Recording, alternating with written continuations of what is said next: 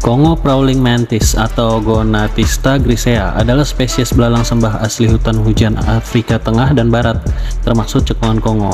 Belalang sembah ini dinamai demikian karena perilaku berburu yang unik, yang melibatkan perlahan-lahan dan hati-hati memburu mangsa mereka. Strategi berburu ini dibantu oleh kemampuan kamuflase yang sangat baik, yang memungkinkan mereka menyatu dengan ka kulit kayu dan dedaunan pohon, di mana tempat mereka sering ditemukan.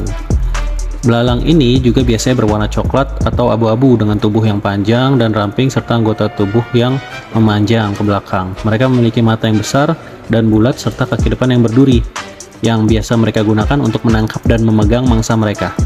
Seperti semua belalang sembah, mereka karnivora dan memakan berbagai serangga atau binatang kecil lainnya, masuk lalat, ngengat, dan bahkan belalang sembah lain.